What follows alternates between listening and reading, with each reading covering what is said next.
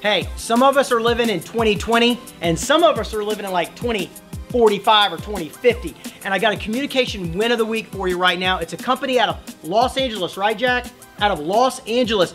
And they're building, I kid you not, holograms. Now, it's kind of weird. The technology is not really ready for prime time, but it's in route. So instead of these Zoom calls and conference calls and, you know, little GoToMeeting things right now, you're gonna be able to see like a 3D rendition of me sitting in your house. How scary would that be, right? But it's really neat that companies are pressing technology down the road. It's really cool. You got to start somewhere. The iPhone started really big and now it's really still really big now. I guess it all comes full circles. Anyway, Star Trek is here with us today. Pretty soon, you're gonna have three-dimensional characters in your room. Check out check out this company. I think they're doing some pretty neat things. Thanks.